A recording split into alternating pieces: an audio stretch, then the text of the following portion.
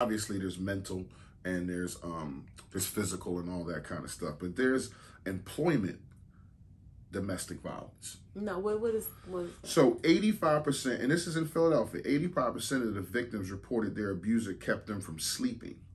One third reported their abuser withheld transportation at the last minute. One third were beaten to the point where they couldn't work. Oh wow. So that's considered employment, Employment domestic violence. Okay. There's poverty.